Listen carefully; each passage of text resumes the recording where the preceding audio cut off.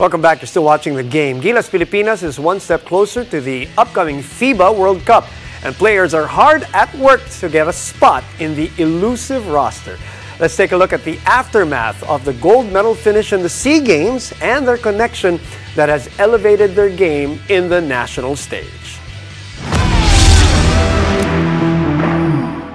Fresh from winning the gold medal in the Southeast Asian Games, Chris Newsome and CJ Perez are in the hunt for another tour of duty with Gilas Pilipinas. Very surprising because I wasn't expecting it at the time.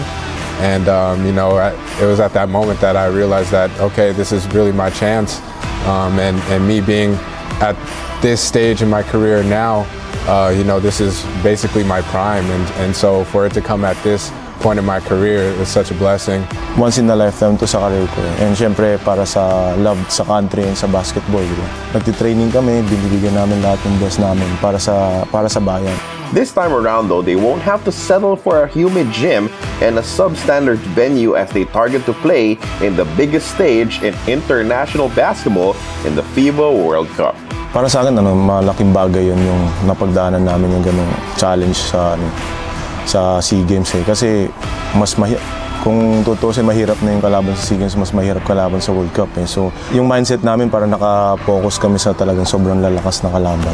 For the two athletes, the difficulties they faced in Cambodia helped toughen them up for the long Gilas grind for the World Cup. Nonetheless, with those conditions and how it was, I just made sure that I gave it everything that I could. And, and me laying there on the floor after the game, I think that was the first time that's ever happened to me. Uh, but, you know, I think that was really me emptying everything I had just to try to get to that gold medal match. The two have known each other for more than a decade as they used to be in the same Ateneo Team B back in college.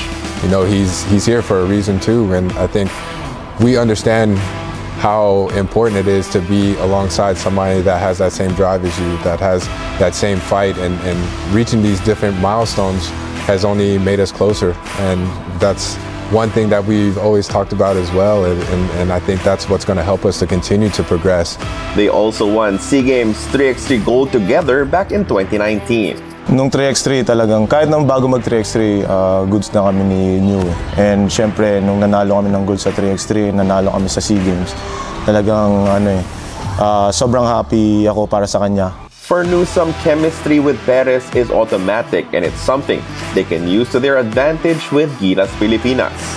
I can just look at CJ and be like, CJ, do this. CJ, do this. Or, you know, we don't even have to say it. We can look at each other and just kind of give that nod and we kind of already know.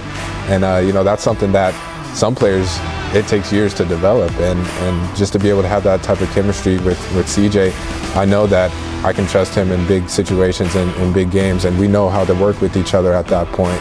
From Ateneo to 3x3 to 515 in Cambodia, they have won many games together and they're hoping to have the privilege of being on the same team again for the World Cup.